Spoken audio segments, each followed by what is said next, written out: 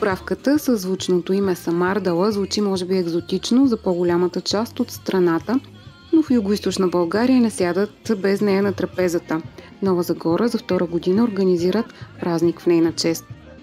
Празника на Самардалата е една идея, инициатива, която много лесно ни така дойде на мен и на моите колеги в администрацията, защото всъщност самардалата е една много традиционна подправка, която расте в нашия край.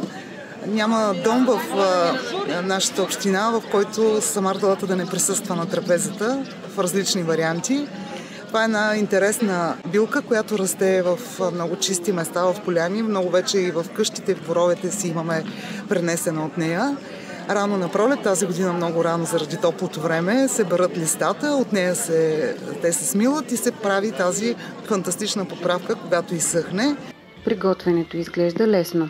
Стрива се с сол и се оставя да съхне в специален съд. Която не са си го изялкали, това е старо. Това е на, на баби на, на дядо ми. Как се казва? Каванче? С камъче, да. И така, и така се е трило. На времето така е било.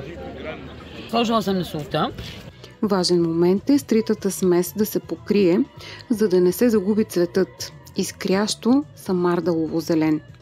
Самардалата съдържа и други компоненти, като не всички от тях се разкриват от домакините, но един може да бъде дивият чесън.